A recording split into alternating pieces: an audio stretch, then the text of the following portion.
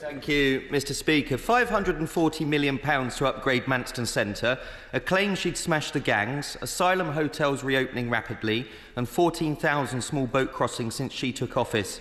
Is this the plan that she had for a new border commander? And how's the plan going? Might it be fair to say not very well?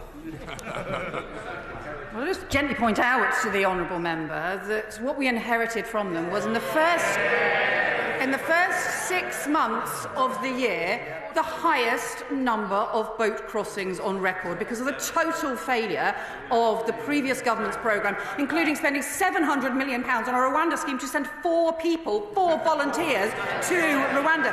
And as for the contract, he may be interested to know on Manston, the first Manston contract notice was issued on the 4th of December 2023 under the previous Home Secretary, a contract for £700 million for six